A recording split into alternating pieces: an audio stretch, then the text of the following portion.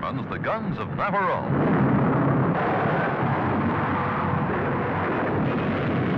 The greatest high adventure of our time. With a cast as exciting as the story it tells. Gregory Peck. David Niven. Anthony Quinn.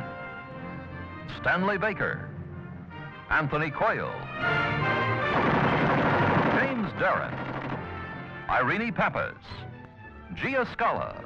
Alistair MacLean's best-selling novel, Live to the Hilt on the Islands of the Aegean Sea.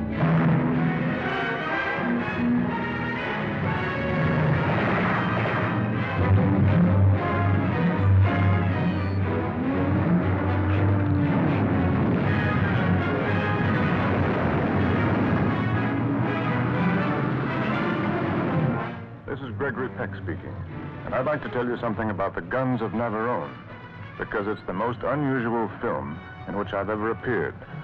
I play the role of Mallory, the man whose job it is to lead six expert cutthroats and saboteurs on a desperate and impossible mission. Watch out! Ah! Hurry! Hurry! What makes it even more desperate and impossible is that some of us hate each other even more than we do the enemy. That's a pretty good partner you've got there yourself. He's going to kill me when the war is over. You think that you've been getting away with it all this time, standing by. Well, son, your bystanding days are over. You're in it now, up to your neck. They told me that you're a genius with explosives. Start proving it. You got me in the mood to use this thing. And by God, if you don't think of something, I'll use it on you. The Guns of Navarone is crowded with action and excitement, but it is even more than great adventure.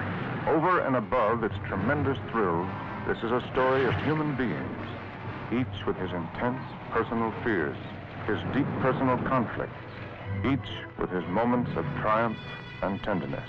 This is a story of unrivaled courage and suspense.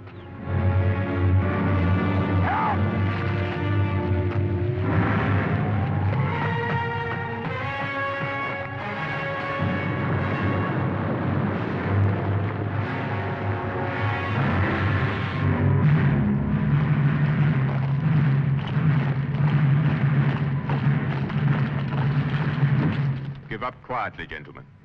Unless you want a great many innocent people killed as well as yourselves. Everybody stay exactly where you are.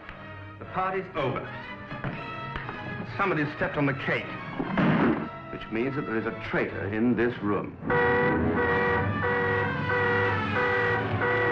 The Guns of Navarone, I promise you, is probably the most exciting film you will ever see.